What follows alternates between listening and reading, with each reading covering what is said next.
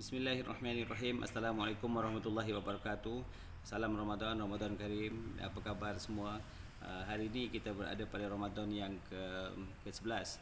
Alhamdulillah Allah bagi kita nikmat uh, pertama sekali nikmat uh, daripada banyak-banyak ruh ruh kita terpilih untuk berada dalam ruh sebagai umat Nabi Muhammad sallallahu alaihi wasallam. Ini adalah satu nikmat yang sangat sangat besar dan kita dapat uh, apa ni uh, dapat seorang rasul yang uh, akan menyediakan menyimpan doanya untuk kita dan sentiasa risau tentang kita yang cinta pada kita. Jadi dan Rasul yang Allah uh, cinta padanya sebagai iktiraf sebagai Habibullah. Sekarang saya berada di surau Al-Hijrah uh, di uh, di sini tuan-tuan boleh tengok.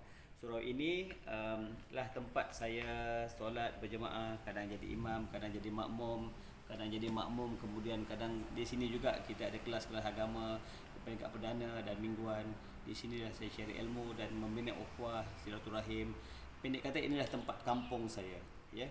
Kalau boleh kita nak surau yang lebih canggih, lebih baik dan banyak surau-surau lain yang ada pengisian. Namun kita tidak boleh fikir sesuatu yang terbaik, kita jadikan dia terbaik.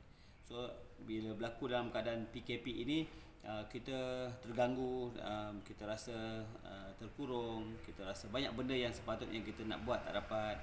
So apa yang kita suka pun tak dapat. Uh, maka saya nak bagi tuan-tuan satu perkongsian lah. Nasihat untuk diri saya dan tuan-tuan. Kalau kita tak dapat apa yang kita suka kita kena suka apa yang kita ada. Dalam banyak perkara yang kita tidak ada alhamdulillah Allah bagi kita peluang.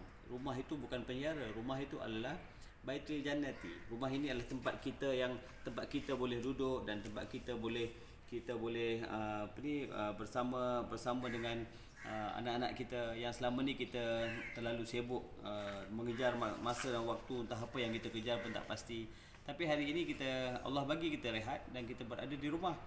Dan inilah masa untuk kita travel dalam rumah. Saya sendiri dalam tempoh PKP saya buat jadual yang panjang untuk uh, misi uh, tiga hari, misi seminggu dan sebagainya.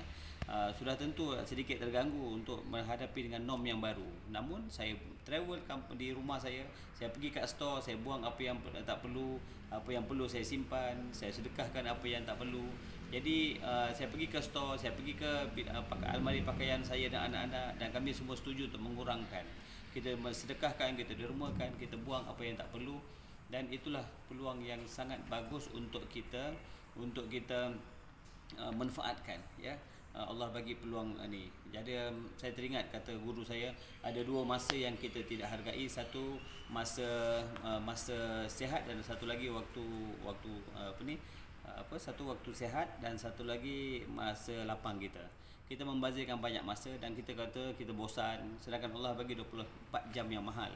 So macam mana kita merancang untuk menjadi individu yang berprofil tinggi dan mencari pandang Allah menjadi sesuatu perkara-perkara yang yang Allah suka pada kita dan kita boleh buat banyak perkara yang best. Bila anak-anak dihadiahkan untuk berada bersama kita di rumah, ah, inilah masa kita untuk bina bonding dengan anak, dengan isteri, ah, kita bina persafahaman, melihat mereka sebagai guru, mereka melihat mereka sebagai anak, sebagai sahabat dan sebagainya. Menarik. Uh, kalau tuan-tuan tengok pandemik yang berlaku hari ini uh, iaitu virus uh, kita panik sebab kita tidak ada ilmu. Kita tidak ada ilmu tentang tentang virus ni. Jadi bila kita panik we are not in control.